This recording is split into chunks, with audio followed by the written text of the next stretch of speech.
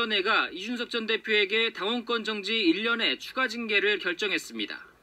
윤리위는 우선 이 전 대표가 정진석 비대위를 저지하기 위해 낸 추가 가처분 신청을 문제 삼았습니다. 새 비대위 구성이라는 당론을 따르지 않아 당원으로서의 의무를 위반했다는 겁니다.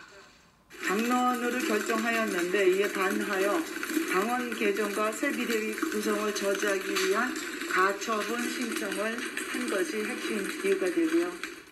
특히 지난 8월 법원의 1차 가처분 결정문을 징계 사유로 활용하기도 했습니다.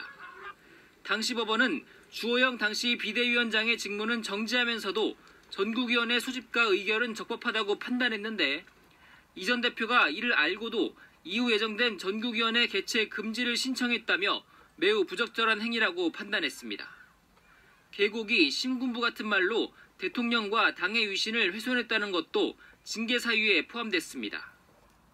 지속적인 모욕적 비난적 표현을 사용하는 하며 타인의 명예를 훼손하는 것은 당력 혼란을 가중시키고 민심 이탈을 촉진시킨 행위로 볼 수 있습니다. 이번 징계로 이 전 대표의 당원권 정지 기간은 2024년 1월까지 모두 1년 6개월로 늘어났습니다. 어제 법원 가처분 결정으로 당대표 복귀가 무산된 데 이어 윤리위 결정으로 내년 초로 예상되는 전당대회 출마도 사실상 불가능해졌습니다. 함께 윤리위 출석을 요청받은 권성동 전 원내대표에 대해서는 징계가 아닌 엄중주의 조치가 내려졌습니다. 당 내홍 속에 술자리를 가진 건 부적절한 행동이라면서도 공식 행사가 끝난 뒤 술자리인 만큼 금주령 위반으로 보기는 어렵다고 판단했습니다.